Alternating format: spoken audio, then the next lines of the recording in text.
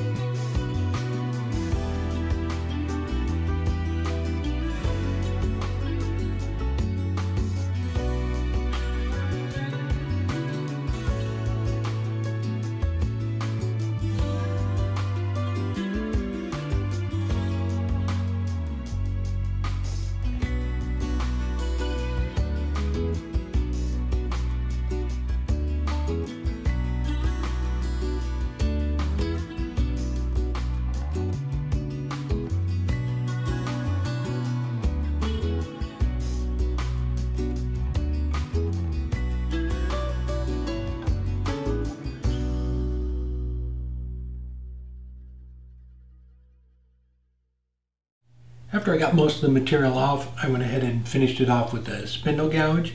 Just brought down the material and gave it a nice curve around the bottom and then just cupped it out just a little bit. The cone that I, it's a little adapter that goes over your spur center or live center and it's perfect for stuff like this. You, you can put the, the mouth of it, whether it's a vase or a small box or something, and it centers everything up. After I got it cupped out a little bit, I used the Easy Wood detailer to bring that point down just a little bit and then I could start sanding it. And I used that to cup it out a little bit more in the center. I started out with 120 and went ahead and sanded it all down smooth, dry before I put the oil on it. And then I used the same thing. I used the Doctor's walnut oil and coated it all down. As I was sanding it, it works great. Sanding like this, it captures all the dust and it's putting the finish on at the same time. After I got it all sanded up with the oil, I went ahead and took it off the lathe and then just used a small chisel to knock that little point off. And then I put a sanding pad in the Jacobs chuck and that way I could sand up the very bottom of it and then I went ahead and applied a little bit of oil afterwards. So the vase, I believe it's acacia. I'm not 100% sure. I think this is another piece we got from Alan when we were down in Arizona. It's six inches in diameter up here at the top and it's 10 inches tall. So there are a couple little spots on it too that this was the little uh, bark enclosure there. So I popped through on that one and that one there. So I love the way it came out with the with leaving the bark on it and then those two little spots where it where you can see right through it. But beautiful piece of wood. The heartwood and the sapwood, the way they contrast there, I just love that. And I put this one up for sale on Etsy. A uh, couple little things. Um, so the hollowing tools, the Easy Wood, they came out with the Pro Series hollowing tools. So those are for doing deep hollowing stuff, um, and they work great for things like this. So when I was doing the whole process, I used my, my smaller, the number one hollower, the, the regular one that I use a lot. So I got around the lip, did all the that stuff inside of there, and then I switched over to the bigger ones, and it went all the way down with the with the straight one, the number one, the pro size, and then I just came around the lip with the larger one. So they work great if you're into doing doing big hollowing stuff. They work fantastic for that. So it's same shapes and everything. It's a smaller set. These are just massive. Yeah, it's crazy. I think the handle on it is about 20 inches, but it worked out great. And yeah, super happy with it. All right, one other thing, I mentioned this on the live show too, so, um, um, but I didn't, didn't do it in the video yet. Um, the slick stick, this stuff, if you do, it's the military used to use it for any kind of drilling or cutting. So I will put a link down below for this stuff. So if you do, even I put it on the bandsaw blades, it works great. It makes it cut much smoother. And I believe uh, Ken has a video, Ken from Woodturner's Wonder, he, he put up a video where you're on your CBN wheels, if you want to grind different types of metal, normally you can't do that because it'll gum them up. You can actually use this stuff and grind like copper and stuff on it if you wanted to. So I will put a link up to that to the video he did so you can go check that out. But super cool stuff. Any kind of drilling or anything, this stuff is amazing and it just takes just a little teeny bit of it. Uh, I think that's it. Uh, Halloween's coming up. Uh, tomorrow. So I hope everybody enjoys that. Um, we, I'm trying to think of if I have anything else going on. I don't think so. We're, I think that's it. this is the part where, where it gets awkward because I'm trying to remember what I was supposed to say or not say or things that are happening. Anyway, um, yeah, go check out the description. I'll put uh, links to all the other tools I use and everything. They're always down below in the description. I have an Amazon store too, so if you want to help support the show, the link to that is down in the description as well. All right, everybody have a great weekend, and we'll see you next week.